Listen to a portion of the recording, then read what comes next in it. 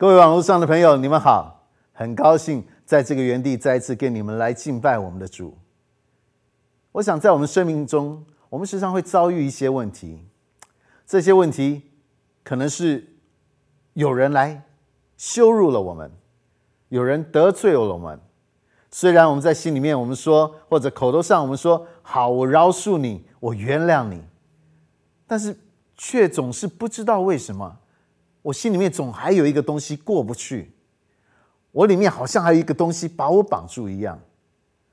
又有时候，我们好像被一些工作、被一些繁杂的事情压着喘不过气，好像我们不把这些事情做完，这个些事情永远在后面追赶着我们。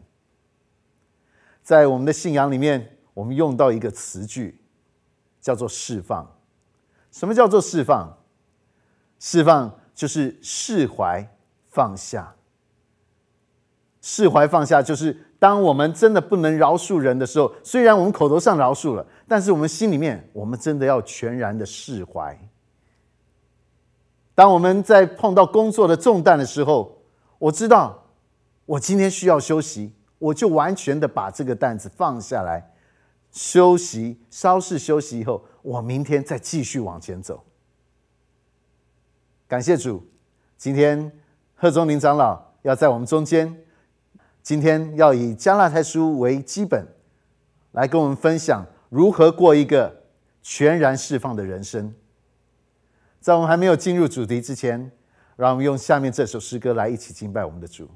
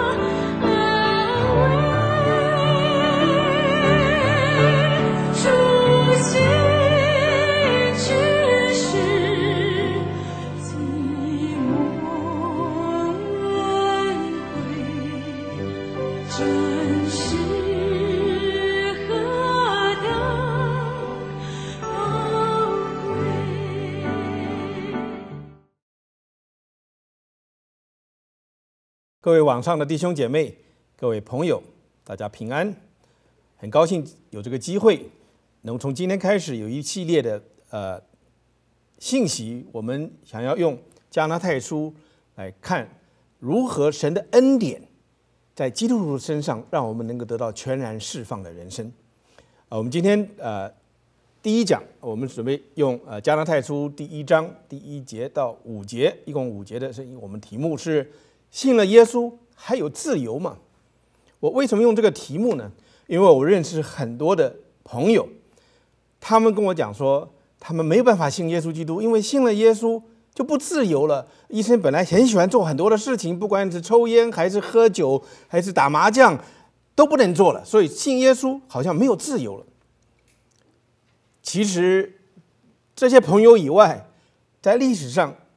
基督教里面有一个很有名的人叫奥古斯丁，奥古斯丁也同样经过类似的挣扎哈。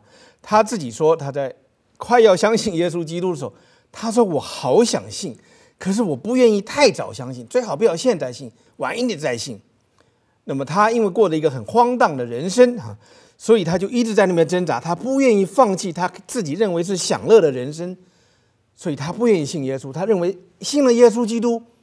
他的人生就没有乐趣了。后来有一天，他在花园里面听着小孩子在那边一直跟他讲，呃，在在外面玩，他们就一直讲一句话，说你打开来看，打开来看，他手这边刚好有罗马书，他就打开了罗马书看，他一下子就看到罗马书第十三章第十三节，罗马书第十三章十三节讲说，行事为人要端正，好像行在白昼，不可荒宴醉酒，不可好色邪荡，不可争竞嫉妒。突然之间，奥古斯丁就觉得说，哎呀，圣经这个话是对他讲的。认为信耶稣基督要放弃这些东西是应该做的事情。其实呢，我还认识一位朋友啊，那时候是朋友，现在是我们的弟兄啊。他姓陈，陈弟兄，他的太太是一直是一个很虔诚的基督徒。那么他自己就知道基督教讲什么东西，因为你信了耶稣基督，你就可以得到永生。那他觉得这个两全其美的方法呢，就是我好好的享受人生，我临死的前。我就信耶稣基督，这样我又可以上天堂，在地上又可以享受我的人生 哈。他就一直保持这个信。有一天，他在街上一个大街上开车，那个街的中间还有安全岛。突然之间，他开车的时候，对面一辆车子撞过安全岛，跟他对撞，他就马上昏迷过去，身上骨头什么断了很多。等他在医院里面醒过来的时候，他突然觉得说，要信耶稣基督。不能等到最后一刻，因为我们自己不知道什么时候就变成我们自己最后一刻了。那么感谢主，因为这位呃陈弟兄后来就接受了耶稣基督啊，后来在教会里面有很多的侍奉。我们看加拿大书，加拿大书我们刚刚讲的，它这个主旨是是自由，是讲说一个释放的人生啊。其实释放的人生是什么呢？就是在因为耶稣基督，因为我们主的恩惠，我使得我们。能够有真正的自由啊？什么叫做自由？很多人说自由，我刚才已经提到，有些人还没有信耶稣的时候，他们觉得说信了耶稣就没有自由了，因为不能抽烟，不能喝酒，不能不能打牌，什么都不能做了。那我们仔细想想看，什么叫做自由？有的人说自由其实很简单，就是我想做什么就做什么，那就是自由啊。那有些人说这个这不行，因为你不能想做什么就做什么，你不能随便想杀人就杀人，对不对？所以有的人就说：“哎，其实自由有从另外一个角度去看，就是说我不想做什么，我就能够不做什么，哎，那就叫做自由。那是自由吗？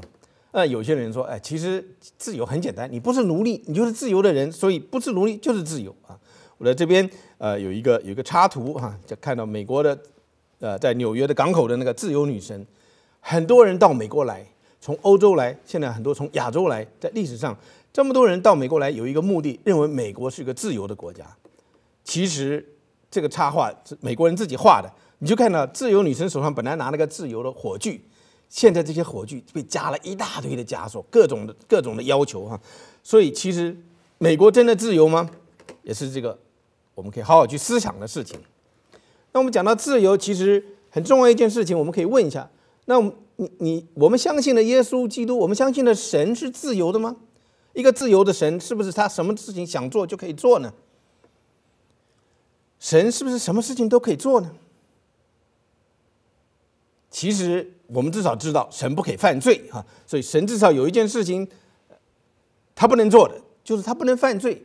那么他不犯罪，他不能犯罪的话，神是自由的吗？其实这个问题在逻辑上有个基本矛盾在那边。神，我们的神是圣洁的神，按照他的本性，他是不会愿意去做犯罪的事情。所以你去问他说，你就说神啊，你能够，你能够犯罪吗？其实神是不愿意去犯罪。所所以什么叫做自由呢？按照我们看，我们的神他是自由的，因为按照神的本性，他想要做的事情，他都能做。那不是按照他本性，你要说他你能不能做那些事情，其实那跟自由是没有关系的。那我们看完神以后，我们来看看人是自由的吗？我们人出生的时候是自由吗？我们看三三个方面哈。第一个就是人出生的时候有自由吗？第二个是说人在后天有没有受到更多的约束？那么在这些约束里面，如果我们没有约束，是不是才是真的自由？哈，我们从三个方向来看这个事情。第一，人出生的时候有没有自由？有什么自由？其实。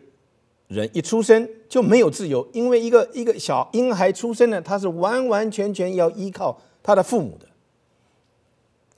一个孩子在父母的照顾之下，他自己没有什么自由，他要依靠，他不能靠自己做任何的事情。当然，在美国，父母亲养孩子，他们的责任是到高中毕业啊，高中毕业以后，这个呃到了十八岁了。美国的父母就说：“你以后的是你自己的事情，因为你成人了。”当然，在中国不一样哈，我们受孔孟教育，所以中国的父母亲要带领孩子，让他们能够大学毕业啊，甚至到研究所，父母亲都一直要那边负责哈。那么孩子就更没有自由了，没有自由的时间更多哈。事实上，任何一个人，我们在成长的过程中，有许许多多外在的枷锁加到我们人身上面哈。你看看我们人。要活在这个世界上，我们需要很多的其他东西。我们需要有钱，你没有钱，你有自由吗？我们需要有朋友，没有朋友，你孤单，你有什么自由呢？我们需要有权利啊！有些人就是，呃，医生所想的就是往上爬，因为有权利，觉得自己可以做很多的事情。也社会上要有地位，因为你有地位，在人前看起来觉得你很自由哈。或者你要有学位，因为学位是地位跟权力跟跟财富的垫脚石。当然，今天有一个很有名的事情，你今天要交男朋友、交女呃，尤其交女朋友哈，女朋友常常就会问说：“你有房有车吗？”有房有车是很多中国的女孩子看男孩子的一个价值。你没有房没有车，你就没有价值，你没有自由，因为你根本就没有办法去追女孩子。当然，有些人后来长大了，他有更多的事情，他依靠喝酒，他天天要去喝酒。或者吸毒，或者去看网上啊，常常有看到色情，呃，也许网上以外，在社会上也有很多色情。有的时候我们要去看别人的脸色，他甚至有些人活在这个世界上要靠食物哈，吃东西就能满足。中国人其实见到面就说：“哎，吃过了吗？吃过了吗？”就为什么？因为食食物吃东西在中国人里面是非常重要的，所以我们的人生好像都是被这些外在的事物所控制。像我们说信了耶稣，想做的事情都不能做了，以为这个叫做自由，原来做的事情叫自由，其实这些事情都是捆绑了我们自己，是一些枷锁，它其实不是真正的自由。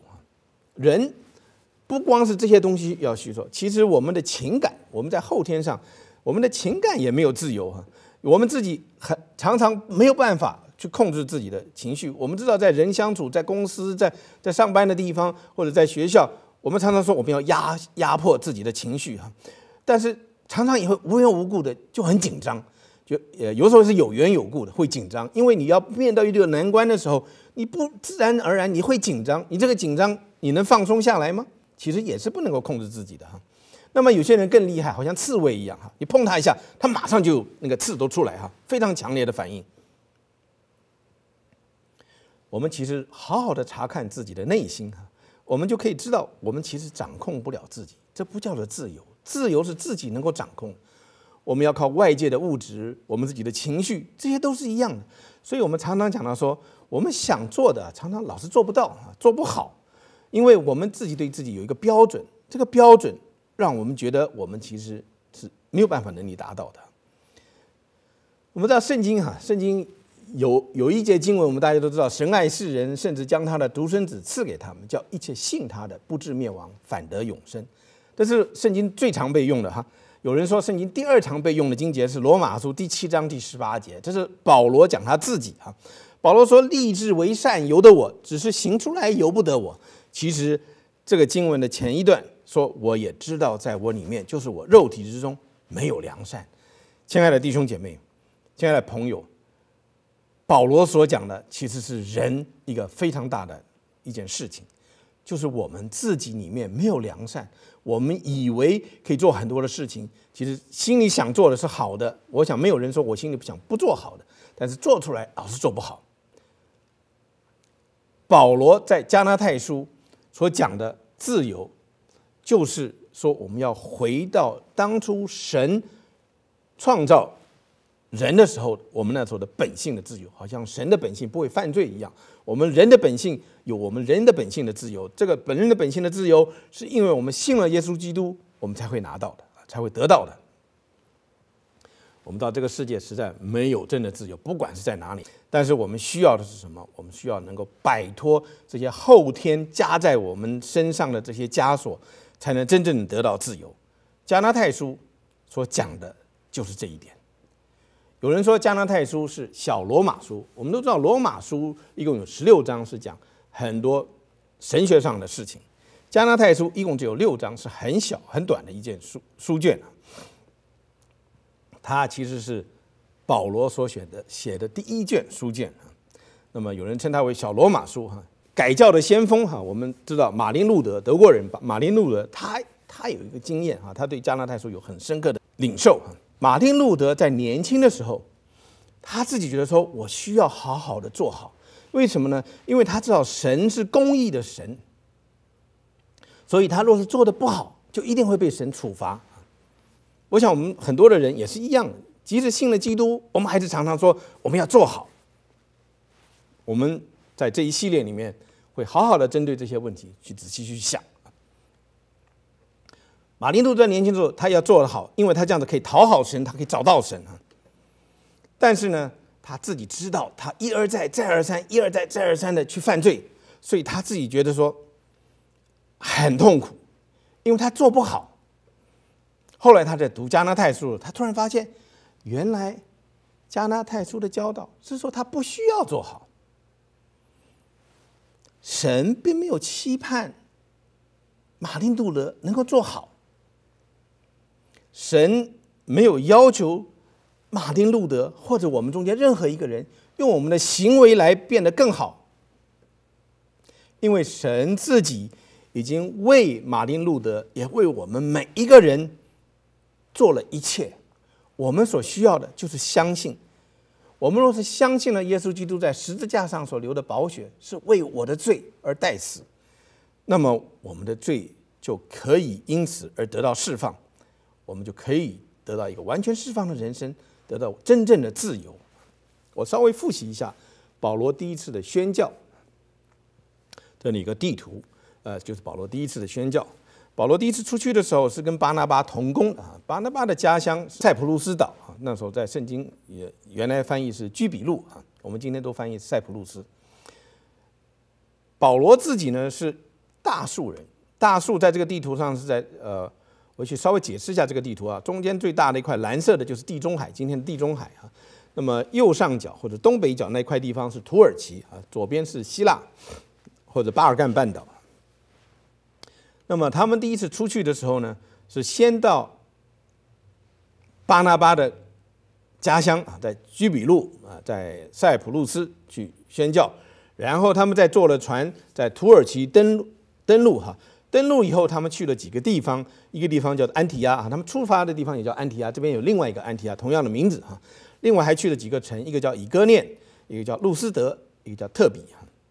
呃，这是那红线的地方。特比呃，路斯德，你再往往东边哈走，你就看到有个地方叫做大树，那就是保罗的家乡。所以他们第一次出去宣教，其实是回到呃巴拿巴的老家跟呃保罗的老家的附近几个城去宣教啊。那么这是。当初他们第一次宣教的，保罗写加拿太书，其实主要就是针对他在土耳其的那几个地方啊，那是加拿太的地方，是安提阿、以哥念啊、路士德、特比这几个城里面的呃基督徒所写的这几个教会呢，呃合起来说是在加拿太啊，所以加拿太书跟其他的呃保罗所写的书信有一些不同，他不是写给一个教会，他是写给好几个教会在同一个地区的啊。我们把加拿太书稍微做一点分段啊，第一章到第二章这两章，保罗主要的是在捍卫他的使徒身份，以及他传福音的权威性。他为什么要捍卫使徒呢？因为他在那边传过福音以后，后来有别人去就说：“嘿，保罗根本就不是跟着耶稣基督的，耶稣基督原来的十二个使徒里面没保罗。”他们攻击他的地位，当他的地位被攻击到以后，他的信息就因此也失去了他的可信性啊，他的权威。所以保罗在第一章跟第二章主要所讲的，就是在捍卫他自己的身份，以他的传福音的权威性。那么从第三章到第六章，保罗所讲的是加拉太书的主题，什么呢？是什么叫做恩典？神的恩典，神的恩惠，以及什么叫做自由？什么叫做释放的人生？所以加拉太书基本上的六章是这样的分段。我们啊，今天所要看的就是加拉太书第一章，从第一节到第五节，我们稍微看一下这个经文。第一章第一节说：“做使徒的保罗，不是由于人，也不是借着人，乃是借着耶稣基督与叫他从死里复活的父神和一切与我同在的众弟兄，写信给加拿大的各教会啊。我们看到各教会，就表示说，其实不止一个教会。”愿恩惠平安从父神与我们的主耶稣基督归于你们。基督照着我们父神的旨意，为我们的罪舍己，要救我们脱离这罪恶的世代。但愿荣耀归于神，直到永永远远。阿门。短短的五节啊，其实我们看一看啊，我们把这五节稍微分作三点来看。第一点就是自由是从以前的自以为是的当中得到释放，这是真的自由。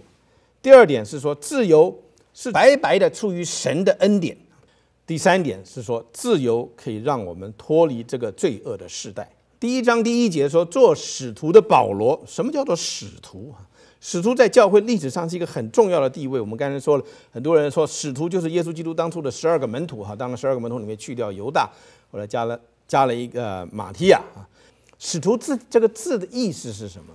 这个字在原文里面叫做 apostello 啊。apart 就是去很远的地方，stello 就是差遣，所以使徒的意思就是耶稣基督差遣去远方传福音的那些人叫做使徒。从严格的定义，从教会历史上来讲，说十二个使徒加上保罗，应该是啊，可能也加上巴拿巴啊，这是使徒啊。其实我们如果被差遣到远方去做宣教，在广义的上面来讲。也是使徒，因为我们被差遣出去。保罗做了使徒，他在做使徒以前是一个法利赛人。法利赛人就是要一天到晚要遵守律法啊，有很多条的律法都要遵守。你不守律法，你就是犯了罪，你就不能进天国啊！这是法利赛人很引以为傲，而且为最重要的一个一个他们的信念就是。作为神的选民，我们要守律法。但是保罗从以从律法的角度守律法的角度，被耶稣基督呼召了以后，他变成使徒。当他做使徒的时候，他现在变成一个完全顺服的的一个使徒，听耶稣基督的一切。这是一个很大的不同，因为他以前自以为是，认为需要守律法。就是我们在在加拉太书里面去看呢，就发现原来他从一个守律法的角度。变成一个完完全全相反的角度，说你守律法是不对的！所以他以前自以为是的，当他信了耶稣基督以后，当他传的福音出来的时候，他在这个自以为是的当中，原来的自以为是中，匆匆直实的得到了释放啊。第二，我们要讲的是自由是白白的出于神的恩典。第一章第三节说：“愿恩惠平安从父神与我们的主耶稣基督归于你们，归于这几个教会啊。”我们知道基督徒，我们常常见面哈。我刚开始的时候也说，弟兄姐妹们平安啊。这个平安这个字呢，其实是从犹太人彼此犹太人彼此见面的时候，他们会说一说一个字，叫做 shalom 哈。shalom 的意思就是平安。保罗在这里跟他后来写的些书信一样，他在讲平安的时候，一定前面加上恩惠。为什么要加上 grace？因为我们原来是一文不值的。毫无价值的，所以神用恩典来包容我们，神用他的他的恩惠来包容我们，让我们看到神是如何的重视我们，也让我们可以因此可以从烦躁之不安之中可以得到平安。若是没有神的恩典，若是没有神的恩惠，基督徒是没有平安的，任何的人也是没有平安的。我们的平安必须要从恩惠当中可以得到啊。这个就是加纳太书的主旨啊，恩典、恩惠是一个很奇妙的名词，是一个神白白的赐给所有不配的人的一个礼物。其实，恩典还有一个很重要的地方，因为我们是完完全全的靠恩典，所以不是靠我们的行为。所以我当我们明白神的恩典的时候，我们就知道我们靠自己是没有办法让神更爱我们。神本来就爱我们了，他已经把他的独生爱子赐给我们，让独生爱子在十字架上为我们的罪流血舍身。所以，我们如果不好好体会这个东西，做基督徒，你其实做一些事情，可能你觉得是很好的事情，可以得到神更爱你的事情。其实神已经不可能再更爱你更多，他的儿子都给了你了。那么，我们常常做什么东西呢？我们就说：“哎呀，我们属灵上要有操练哈。”所以，我们呃要要常常去读经，对不对？我们要祷告。同样的，呃，不管是读经是祷告，你是常常去教会还是参加聚会，这些事情，不论我们做什么不做什么，都没有，其实都没有办法让神更爱我们，因为一我们的神他已经把他所有的爱赐给了我们。他是一个无限的神，他的爱是无限的，他已经完完全全的把他的爱。给了所有的基督徒，因此我们有神的恩惠，我们才能够有平安，我们才能平安的面对神，同时对待人，还有对待自己。圣经告诉我们说，我们靠自己是没有办法对付罪的问题，只有神才可以对付罪。福音的宣告就是神已经完完全全的对付了罪。我们也没有可能在这个神已经完完全全对付了罪的这个问题上再加任何东西。你你去读经好不好？读经是好的事情啊。你去祷告好不好？祷告也是好的事情。但是你心里不要期望说，我去读经，我的祷告，我就变成神更爱的一个人。神爱你已经没有办法再增加了。最后我们看看第第四节、第五节，基督照着我们父神的旨意，为我们罪舍己，要救我们脱离的罪恶的世代。但愿荣耀归于神，直到永永远远。阿门。第五节是保罗写写到这边的时候，他就情不自禁的把荣耀赞美归给于神哈。那么第四节是他当时要讲的一件事情，这里有几个字哈是很特殊的哈。第一个字就是这个世代啊。保罗在这边写的时候，福音我们讲福音不是说我们因为相信耶稣基督，我们的罪就得到赦免，就到这个层面就结束了。保罗说：“耶稣基督的受死的原因啊，第四节说是为我们的罪舍己，要救我们脱离这罪恶的世代。”保罗用这个“世代”这个字是很很特殊的啊。我们讲说啊，罪恶这个世代，这个用空间讲叫 cosmos 啊，这个宇宙。但是保罗所用的呢，是讲说一个时间性的，叫做 ionos 啊，这个时代。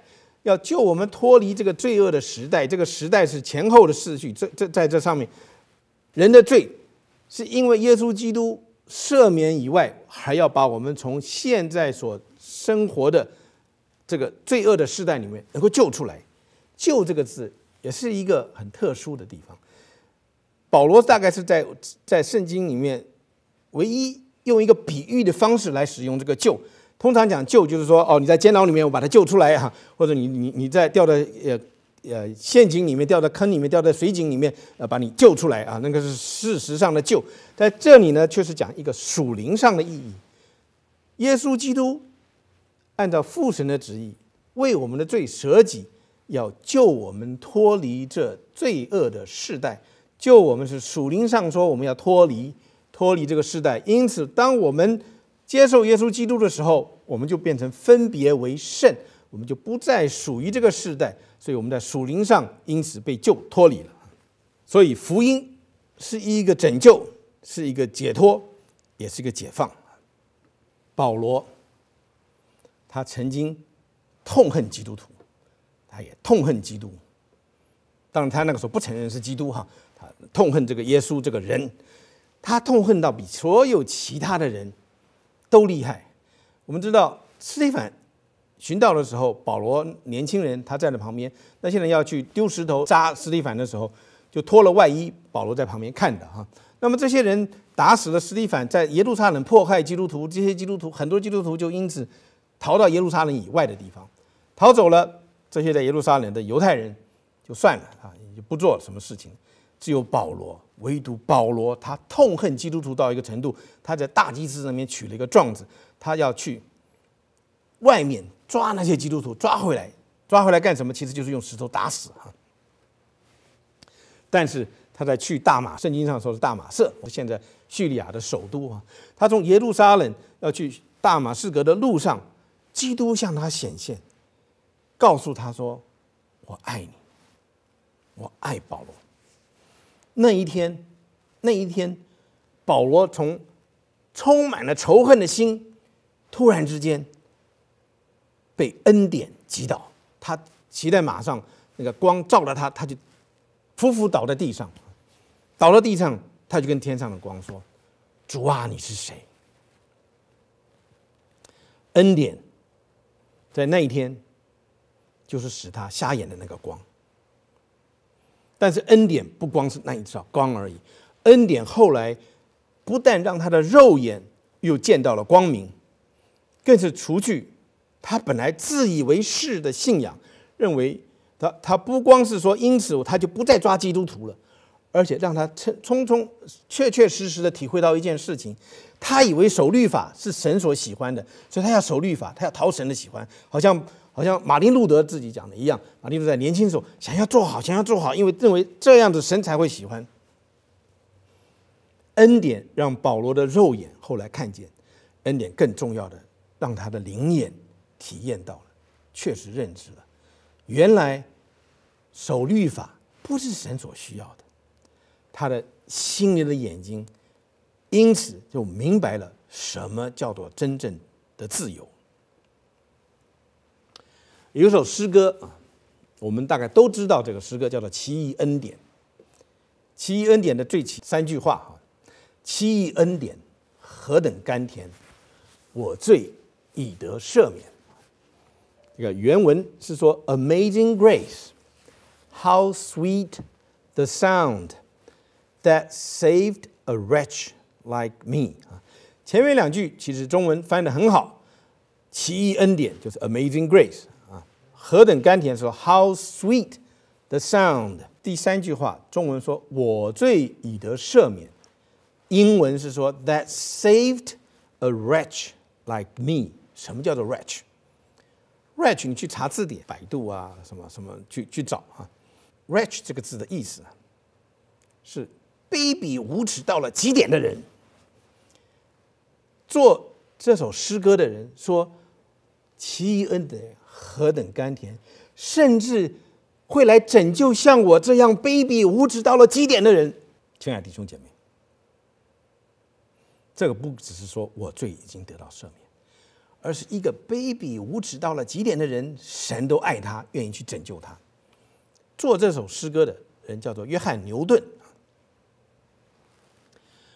他是什么呢？他是一个运送奴隶非洲的黑奴。到欧洲、到美洲一个船的船长。历史上，历史上的记载说，非洲的黑人被西方列强拘捕了以后，变成了奴隶，大约一共有六千万，六千万的的黑人被拘捕，是要送到欧洲，要送到美洲去做奴隶，但是真正能够达到欧洲。能够达到美洲去做奴隶的是这六千万人里面比较幸运的，因为他们活下来了。活下来有多少？两千万。我们今天回想一下，看非洲的历史，六千万的黑人，其中四千万连奴隶都做不到就死了。约翰牛顿就是这里面的凶手之一。他就是一个船的船长，他那个船的作用是什么？就把这些拘捕住、逮到的这些黑奴运到美洲去，运到欧洲去。当约翰牛顿接受耶稣基督为救主的时候，他真是认为他自己是一个卑鄙无耻到了极点的人，是一个 rich 所以他他充满了他充满了感恩的心，说：“奇恩典何等甘甜，竟然会救一个。”如此卑鄙无耻到极点的人，像我这样的人，他不得不承认，耶稣基督的救恩是奇妙的。其实不光是约翰牛顿，我们每一个基督徒都得到了这个奇异的恩典。我们也许我们比上不足，比下有余；也许我们不是卑鄙无耻到了极点的，但是我们都是一个不配的，每一个人都是不配的。在我们不配得到神的爱里面，神却爱了我们，所以不但爱了我们，给我们有一个释放的人生，给我们有自由，真的自由，让让我们能够摆脱后天加给我们许许多多的枷锁。如果我们还坚持说我要靠自己，可以努力去过一个基督徒的生活，我们实在是枉费了神所赐给我们的自由的白白的救恩的恩典。我想请大家一起思考这个问题：作为基督徒，我们是真的有自由吗？还是说我们因此要牺牲了很多的自由？我们是要摆脱这些枷锁，让我们在主的里面能够得到真正释放的人生，让我们在主的里面不再受这些枷锁的约束。希望借着这一系列的的信息，让我们能够更多的体会保罗在加拉太书里面所要告诉我们的信息是什么。感谢，也谢谢大家今天在这里，我们一起去思考这些问题。我们一起做个结束的祷告。父神，我们谢谢你，因为你的恩典，因为你完完全全的爱我们，你把你的独生爱子赐给我们，让他在十字架上流血舍身，为我们的罪代为受死，使我们今天在主领的里面，因为你的恩典，我们能够完完全全的自由，我们真正能够把世上所有的枷锁都摆脱，使我们能够坦然无惧的来到你的面前。因为我们知道主你自己看我们是何等的美好，因为你透过耶稣基督的义来看我们这些罪人，我们如今活着不再是原来的是样式，乃是透过耶稣基督披戴耶稣基督的义，在你的面前得到主你自己的喜欢。感谢主，求你祝福我们每一位弟兄姐妹，我们每一位朋友。